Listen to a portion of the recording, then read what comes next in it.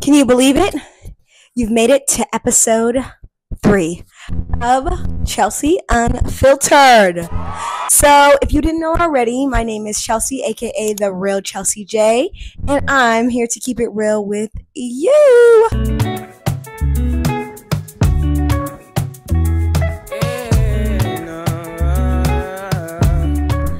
So, honestly, I don't even know why I sung it. I'm just in a really good mood, y'all. Today has been so hot in Los Angeles. Um, but also, I don't know why I'm excited about that. For me, the heat honestly makes me sleepy, so I I've been taking on and off naps. Just woke up though, had me a burrito, and I was like, you know what? I'm gonna record episode three of Chelsey Unfiltered. Like, I'm ready to give them what I've been thinking about, you know, what I want to share today. So, um, before I get started with that, did y'all feel that earthquake? Y'all, I was in my room, you know, laying my edges or whatever, and literally the room was shaking. Like it was so scary. oh no. it's not happening to me today. It's not happening to me today. But I bet you guys are wondering, like, well, what's the topic, Chelsey? What's the topic? You got a lot to chat to chat to, but you don't have much to say about what we're really talking about. Well, I'm glad you asked. Um, today's episode is going to be about that common phrase that we all hear. Now, there's a lot of common phrases, but this is the one I know everyone has heard. When you go into the room, you're like, one, two, three. How many people have heard this? At least one of the three. Out of one out of three people have heard this saying. And it's sick of being sick and tired. Now, I was wondering, like, why do I want to talk about this today? Or like, what specifically? But then I thought about um about a week ago, I was in prayer and I was just so frustrated. I was so frustrated because I keep on facing the same things. I keep on facing these battles in my mind, and I'm so tired of it. I'm so tired of getting angry so quickly. I'm so tired of being stressed out, you know? And it's so exhausting. And you become literally sick and tired of being sick and tired, like tired of doing the same thing. So I wanted to provide you with, of course, some hope and some insight that if you are in that season or if you are feeling that way, that girl, we in the same boat. We are in the same boat. And um, I want to bring out my laptop to y'all and share y'all a song that really came to mind with this. And um, it goes, Fear you don't own me. There's no room in the story. But the beginning of the song says, Sick and tired of being sick and tired, had enough that had more than you can take.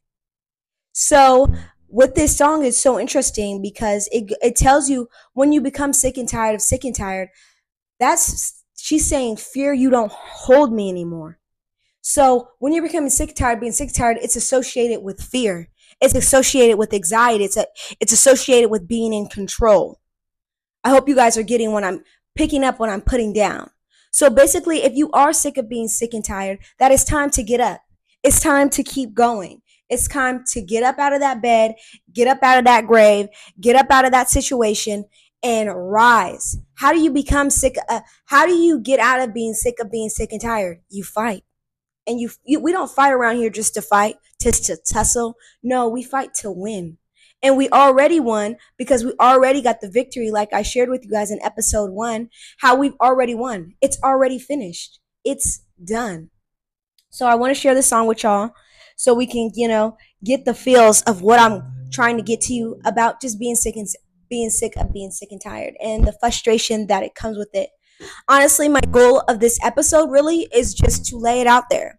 I don't have really any like answers or things like that, but I'm just here to share what's really going on with me and how it can um relate to you and help you get through whatever you're going through. Like just a hope, a smile, a little something, something, because with having like nothing, it's better to have something is better than nothing. Okay. You catch my drift. You catch my drift. But yeah, I, I thought I was going to write some notes or something.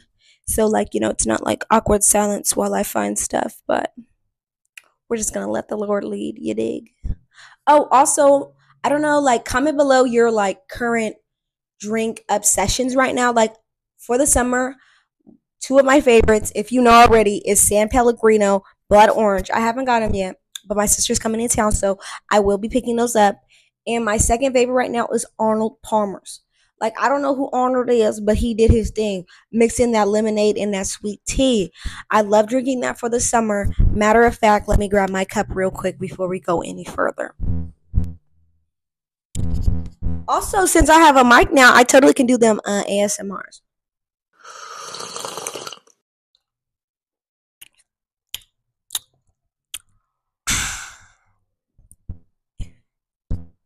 All right, let's find this song that I told y'all about. Breakup song. Yep, this is the one I wanted y'all to hear.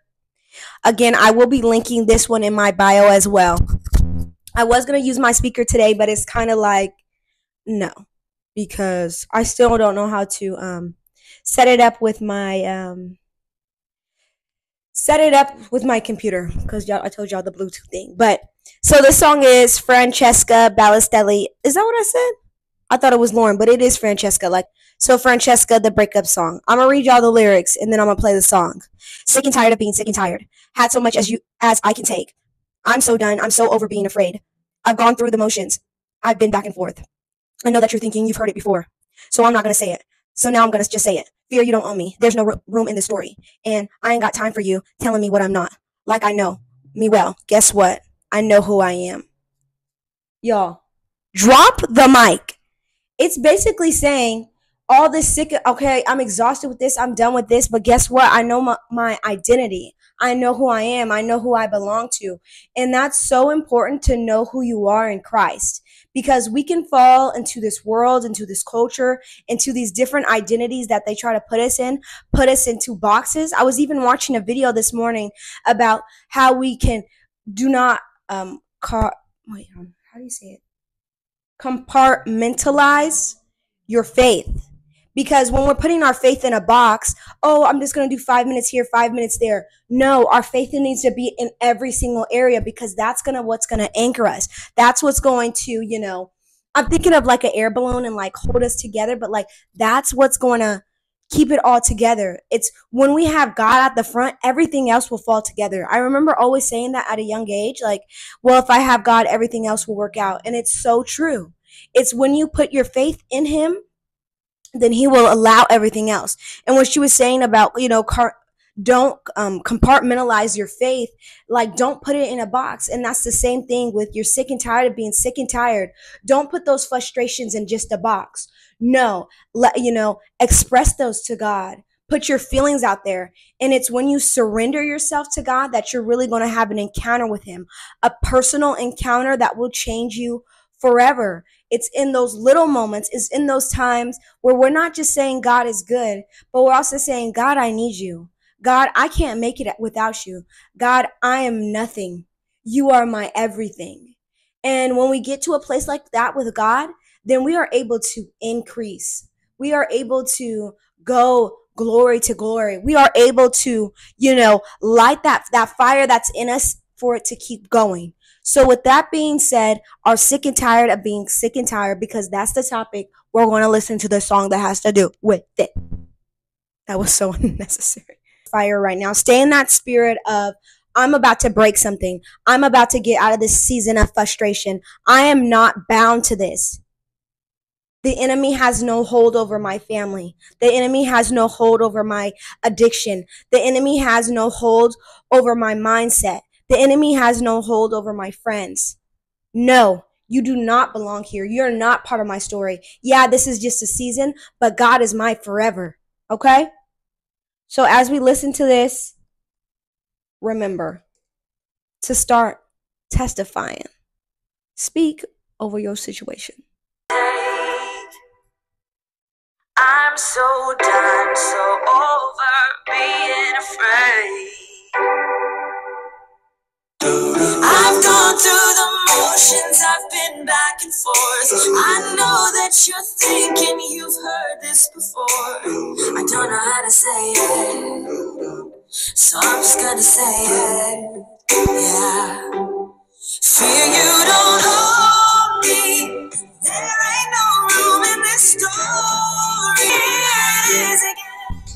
She said, in case you didn't hear it, here it is again. And that's what you need to say over you're sick and tired of sick and tired. here it is. Here it is again. Here's my frustration. Here's where I'm at. But guess what? I believe that you are God. I believe that you are faithful. I need to strengthen my faith. I need to come back to the source. I need to, you know, lay it all at his feet and everything else will follow.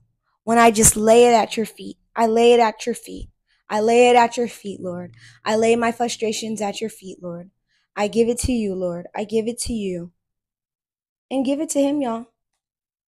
I'm here to tell you, yeah, so it's okay to be sick and it's okay to be sick. sick of being sick and tired. I want to end you with the scripture. Hebrews 11 through 11 through Hebrews 11 3. By faith we understand that the universe was created by the word of God, so that what is seen was not made out of things that are visible. Everything that you're going through, I want you to pl- replace the word universe with whatever your situation is, whatever you're believing God for, whatever it is. For me, I could say, by faith, we understand that my career was created by the word of God, so that what is seen was not made out of things that are visible. By faith, we understand that the res- restoration of my family was created by the word of God, so that what is seen was not made out of things that are visible. What you may want, what you, what you may want, what you may desire may be something that you cannot see. But guess what? God made it. He created it. And He will make a way out of no way. That thing that you're dreaming of will take place. But it takes you saying, I'm sick of being sick and tired. Okay?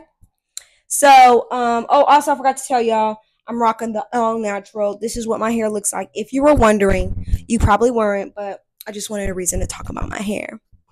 Anyways, y'all, I love the Lord so much. I love that I decided just to come back on here. No really pressure, just coming as me with all my personality and all my, you know, fun, quirkiness, goofiness, but also just love and passion that I'm not just like, you know, on the surface level with things, but I really want to go deep, dig deeper. So if you have any, you know, questions, comments, maybe there's a specific topic you had in mind or anything of that nature, I would love to hear it. And I want to thank you for, you know, watching this video all the way through. Um, don't forget to like, comment, and subscribe.